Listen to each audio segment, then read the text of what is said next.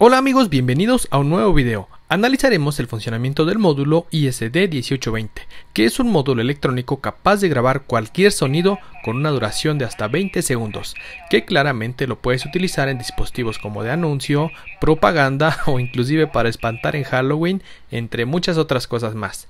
Este integrado lo puedes encontrar en páginas web como Autesource, que es la tienda de componentes electrónicos con chips dedicados, capacitores, resistencias, microcontroladores y todo lo necesario para realizar tus proyectos a un precio súper bajo. Recuerda que puedes visualizar el footprint y el render 3D de los componentes electrónicos en la misma página de Utesource. Dale una checada y sube tu lista de materiales para obtener los mejores precios.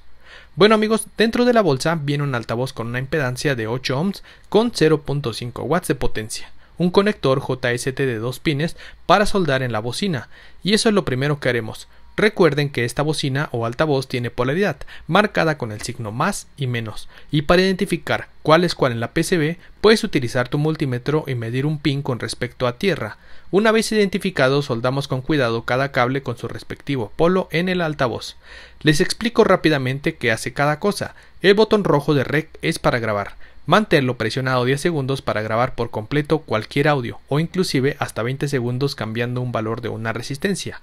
El botón play E se presiona una sola vez para reproducir el audio grabado y el botón play L es para reproducir el audio solamente cuando se esté presionado.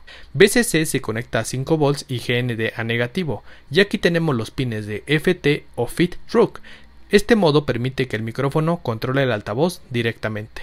El pin PL y PE son señales de entrada para reproducir el audio completamente en directo. El pin PL es señal de entrada para iniciar el ciclo de reproducción, además de contar con un LED SM de rojo para indicar cuando estés grabando algún audio, que es bastante útil. Bueno, energizaré el circuito con un voltaje de 5 volts, el positivo de la fuente va a BCC y el negativo a GND como les había comentado. Vamos a probar grabando un poco de mi voz. ¡Ah, medio metro!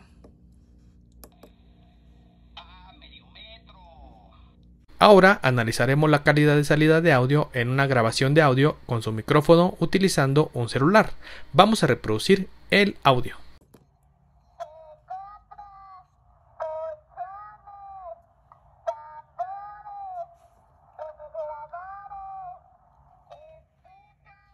Al mover el puente o jumper de FT hacia abajo, deja libre para reproducción continua desde el micrófono, y al mover el puente de PE se logra reproducir la grabación indefinidamente.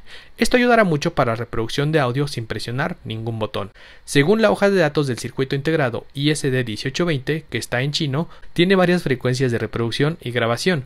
Con una ligera modificación en la resistencia del oscilador, podremos lograr que pueda grabar hasta 20 segundos continuos, y en este caso es la resistencia R4 ubicada en la parte superior derecha del módulo, la cual se puede cambiar desde 80 kΩ hasta 200 kΩ. Por defecto viene soldada una resistencia de 100K, así que vamos a probar este modo de soldando el resistor y colocando uno de 200K. Obviamente si requieres más potencia puedes conectar un módulo amplificador de audio a su salida para que suene con más potencia y debido a que la calidad de audio no es la mejor se recomiendan sonidos de voz principalmente. El diagrama esquemático viene incluido en el PDF de la hoja de datos del ISD 1820, donde muestra qué componente va conectado a cada pin, y justo debajo recomendaciones de conexión con amplificadores de audio, como el LM386, D2823, entre otros. Me gusta mucho cuando los fabricantes incluyen el esquemático de sus productos para saber cómo va conectado todo y qué valores de componentes tienen, además de facilitar el trabajo que hacen para modificaciones futuras. Sin duda alguna, este es un módulo muy divertido y que siendo sinceros puede darte a implementarlo en tus ideas de proyectos. Solo imagina las posibilidades. Puedes usarlo para reproducir comerciales o anuncios, darle voz a juguetes o dispositivos, poder accionarlo con componentes muy simples o hasta con un microcontrolador. La desventaja que le veo es que es necesario conectar un módulo de audio amplificador para que suene un poco más fuerte. Espero que les haya gustado este video amigos, no olviden suscribirse y nos estamos viendo en próximos videos. Adiós.